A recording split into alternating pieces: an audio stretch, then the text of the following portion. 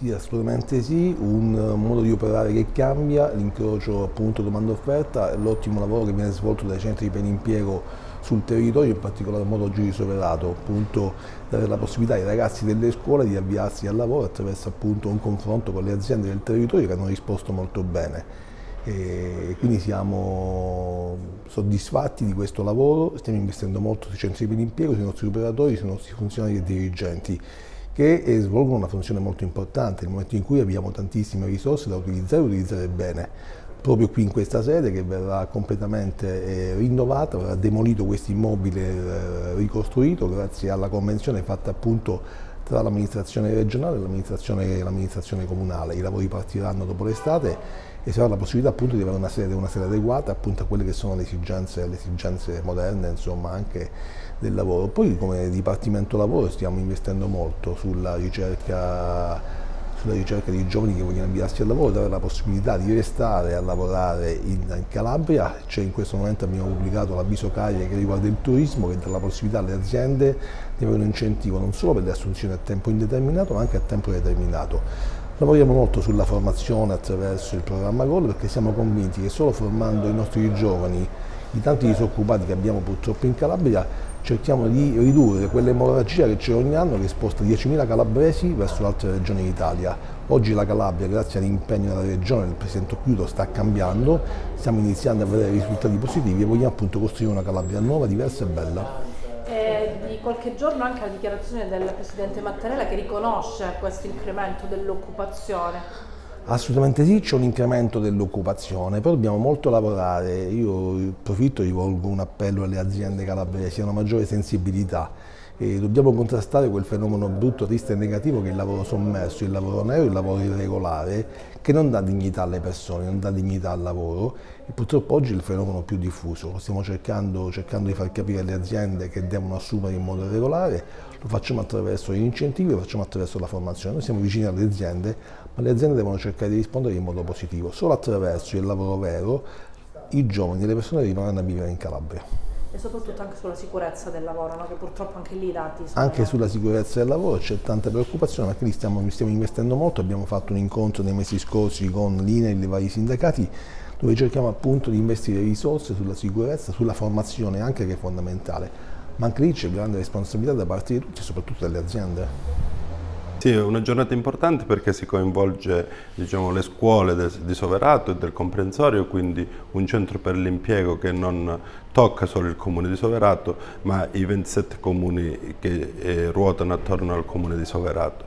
Importante perché eh, il messaggio che si vuole mandare oggi attraverso anche i colloqui con le aziende è quello di rimanere in Calabria proprio per lavorare e per far sì che la Calabria diventi anche un posto dove ci possono essere delle opportunità. E su questa sede stiamo lavorando grazie alla Regione Calabria e grazie anche all'interlocuzione continua che c'è con l'assessore calabrese, quello di rinnovare i locali del centro per l'impiego.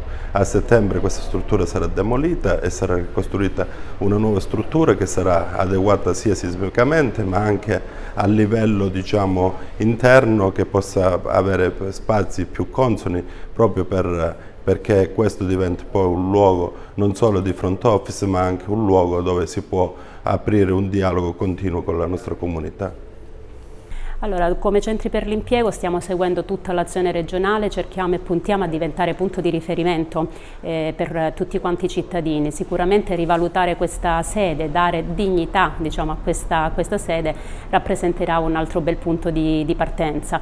Il nostro obiettivo fondamentale è sempre stato quello di accogliere l'utente nel miglior modo possibile, utilizzando ovviamente sempre un approccio eh, molto umano e molto empatico, perché comunque abbiamo a che fare con un'utenza che è portatrice di numerosi e di svariati bisogni, per cui accoglierla anche in un posto che sia più confortevole, che garantisca anche una migliore privacy sarà sicuramente un punto di forza. E poi riguardo invece ai, ai, colloqui che si stanno svolgendo questa mattina, come sono strutturati e quanti ragazzi stanno partecipando? Allora, i colloqui che si stanno svolgendo sono la parte finale di questo progetto che stiamo portando avanti con le scuole ormai da parecchi mesi, insieme ad altri partner che sono Sviluppo Lavoro Italia, tutte quante le scuole, il Comune di Soverato, eh, nonché i consulenti del lavoro e la neuropsichiatria infantile. Abbiamo fatto dei laboratori di orientamento che hanno toccato diverse tematiche. Per quanto riguarda il centro per l'impiego ci siamo concentrati soprattutto su sulle classi in uscita, eh, in modo tale proprio appunto da creare delle vere e proprie occasioni di lavoro. Dobbiamo dire che le aziende del territorio hanno risposto benissimo, eh, c'erano infatti in comune eh, ben 20 aziende che si sono candidate con oltre 90 profili professionali ricercati e ci sono state altrettante candidature, ben 90 ragazzi sono presenti in comune che stanno sostenendo i colloqui. ci sono dei dati che, so, sul, sul, territorio che possiamo mm. dare, se ci sono? Eh, vabbè, posso dire sì. qualcosa che cosa... Sì. Sì, nel corso del, del, progetto sono praticamente emersi alcuni dati importanti, soprattutto sulla conoscenza dei centri per l'impiego da parte dei ragazzi. Ci siamo resi conto che la maggior parte disconosce che cosa sono questi uffici e quali sono i servizi eh, che essi offrono. Quindi il nostro obiettivo è stato proprio quello di far conoscere i centri per l'impiego e innanzitutto i servizi. Quasi nessuno dei ragazzi, più dell'80% dei ragazzi non avevano nemmeno effettuato la prima iscrizione al centro per l'impiego e nel corso dei laboratori 140 di questi sono stati già presi in, in carico, ma l'attività spero che continuerà anche nei prossimi mesi in modo da avvicinarli sempre di più. Nel corso dei laboratori inoltre è stata somministrata un'intervista del tutto anonima a questi ragazzi dove eh, sono state fatte tutte quante una serie di domande, oltre che sulla conoscenza dei centri per l'impiego, anche sulla parte delle esperienze lavorative che avevano avuto. Il questionario è stato elaborato insieme proprio con un imprenditore locale che è molto attivo appunto sul territorio che è Gianni Sgro e da lì sono emersi dei dati appunto significativi perché molti avevano avuto una prima esperienza di lavoro, eh, però nel momento in cui noi abbiamo fatto la domanda soprattutto sulla contrattualistica che gli era stata applicata, eh, più quasi il 60% di questi aveva dichiarato di aver lavorato senza un regolare contratto di lavoro. Sono dei dati molto interessanti che andrebbero esaminati attentamente e che potrebbero offrire una guida a una programmazione futura.